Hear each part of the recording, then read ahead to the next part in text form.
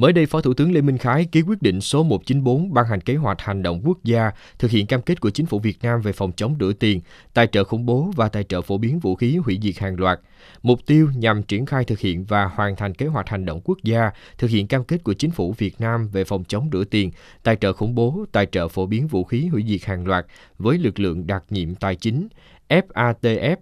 sớm đưa Việt Nam ra khỏi danh sách ra soát tăng cường danh sách xám trên cơ sở đảm bảo tối đa lợi ích quốc gia.